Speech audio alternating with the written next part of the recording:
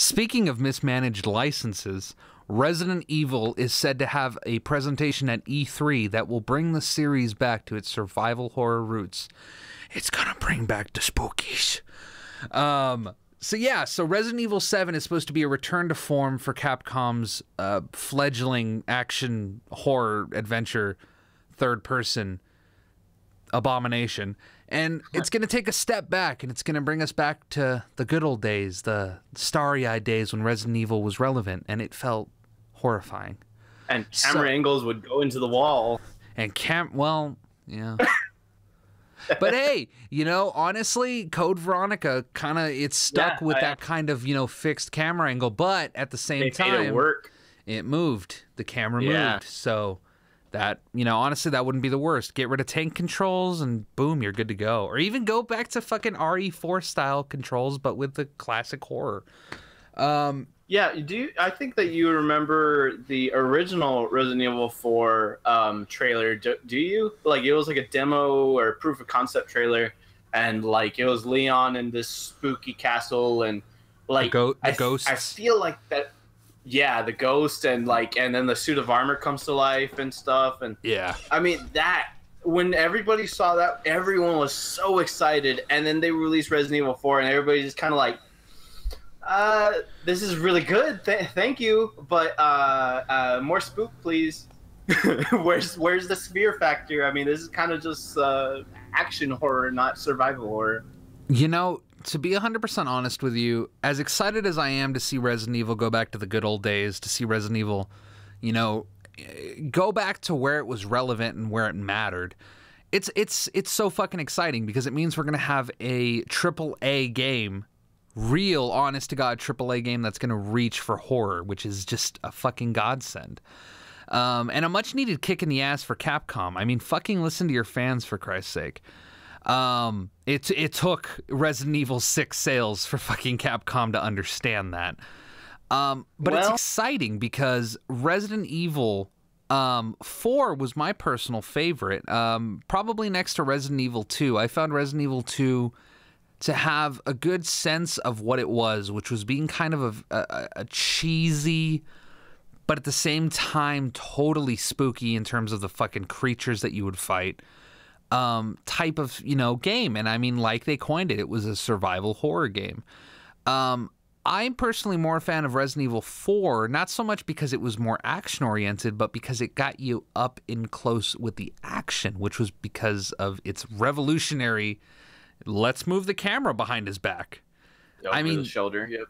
That made a hell of a difference. I mean, that spawned a a almost an entire like way to present third person games. I mean, you name it, they kind of took after Resident Evil 4. I mean, Gears of War did a pretty similar thing. I mean, you know, granted Gears of War introduced um backpacking co- cover mechanics, you know, cover shooting it it it brought that to the forefront. So in that sense it innovated in that way.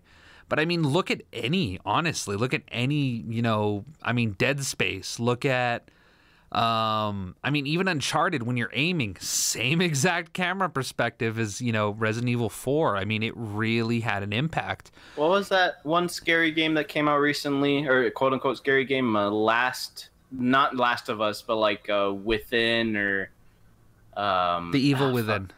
There you go. Yeah, that was actually designed by uh, Keiji Inafune, who was the guy who uh, he's the creator, like the the creative director on Resident Evil and he's actually Ooh. the guy who went, "Hey, for this next game that we're working on, this little known game called Resident Evil 4, why don't we put, you know, you right in the action? Why don't we put it like right in your face?" He was the one who came up with that idea. Good so segue, that, JJ.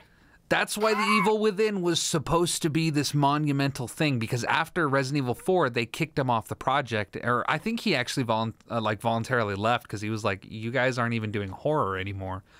Um, and then he did the Evil Within, which was you know, it's it's it's mixed. Some people love it, some people hate it, but honestly, I think if they're able to go back to the Resident Evil 4 style of stuff, because if there was one thing I liked about Resident Evil 4, it was the amount of detail that was put into.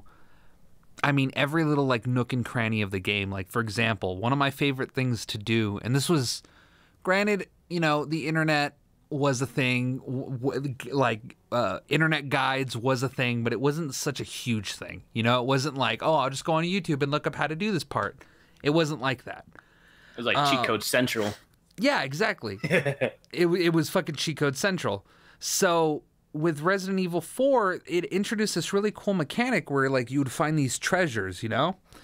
And inside the treasures there would be like little like missing like spots. Like there would be some like you could put something inside of the oh, spots. Oh yes. And as you go through the levels, you might be lucky enough to encounter gemstones or, you know, something that's like, oh, look, it's a cat's eye gem. And you're like, I think I have a beer stein that has missing like oval shaped holes. And of course, you put them, you put them in, the value of the item would increase. And it was a mixture of, you know, that system combined with, you know, how fun the shooting was combined with the actual like upgrade system where you had this you know stranger this this guy who would fucking open up his fucking deal and he had a rocket launcher that had infinite ammo on him. I mean that shit was so fun. It was so i mean it was so absolutely honed in and it was so familiar to resident evil while at the same time being so fresh i i just adore that. I adore that game to death. I found that resident evil 5 peeled back a lot of that like a lot of like the oh you know you can you know see the stranger and buy upgrades for your weapons or you know buy attachments or uh, you beat the game and you'll unlock like this weapon that you need to pay a million fucking dollars for and you have to work your way to get it and then you buy it you beat the game again. There's a new infinite weapon.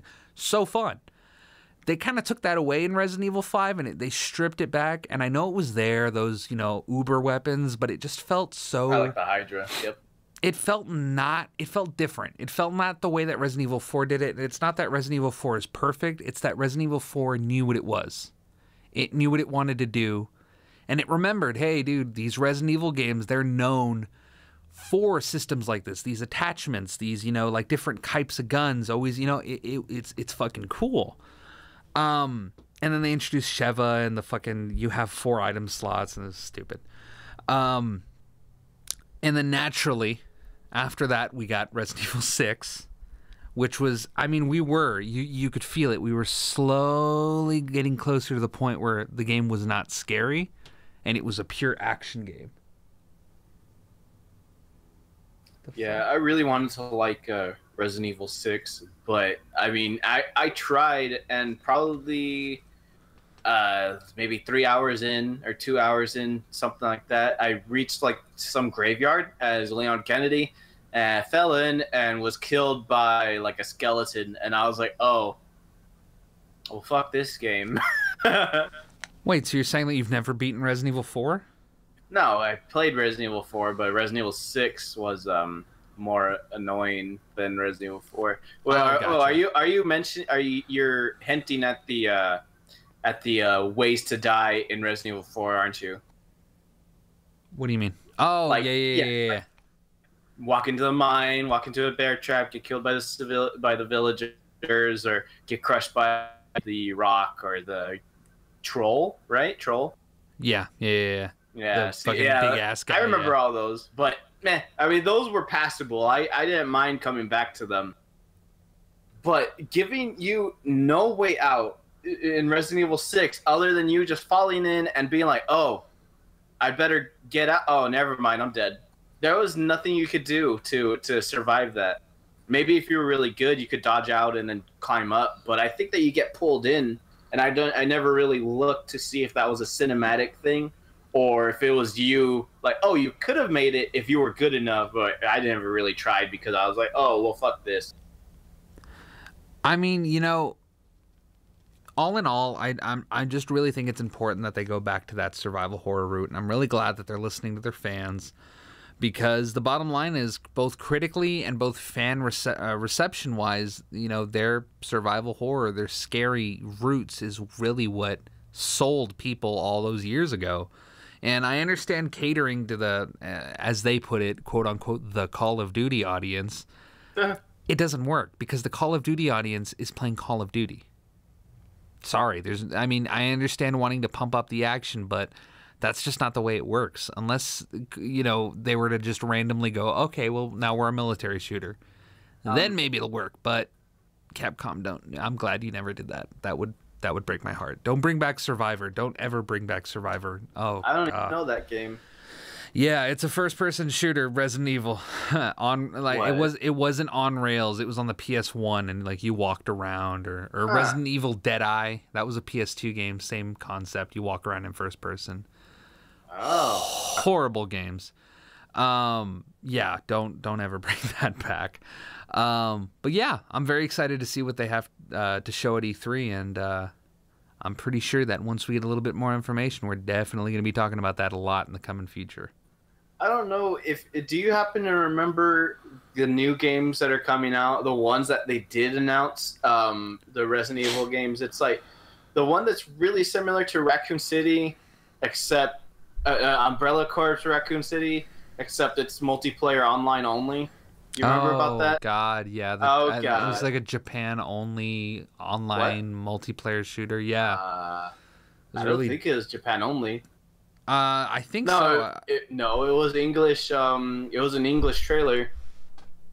I mean, that doesn't mean anything. No, oh, I'm sorry. no, I'm pretty sure they announced it for over here and put it like Steam, PS4, and Xbox. And Steam is not big in uh over there, so. But we'll see. I mean, I don't know when the release date was, but I remember it was last year that they showed that I saw the video.